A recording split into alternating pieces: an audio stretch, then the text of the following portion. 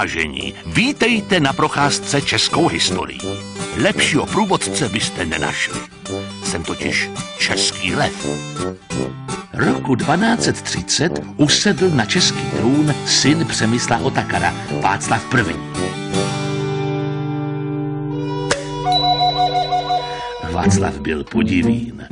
Před vládnutím dával většinou přednost lovu, turnajům a zábavě.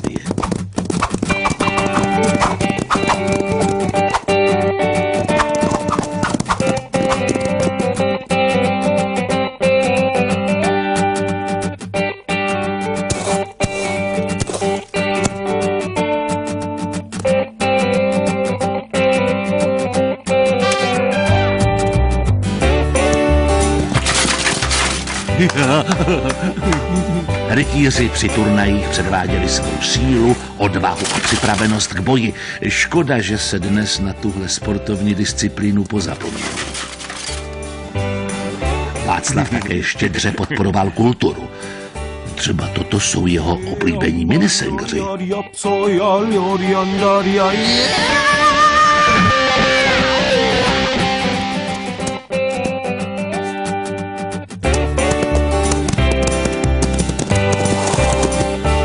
Mongolové!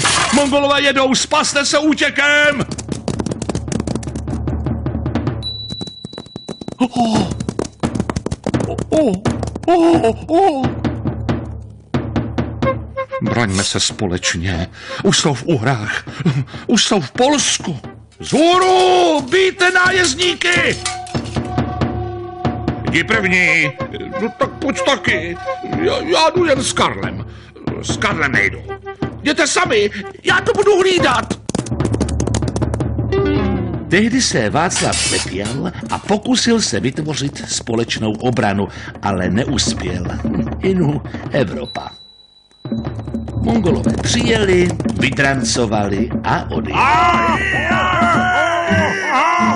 No, líp bude přece jenom v lese. Zhůru na lov!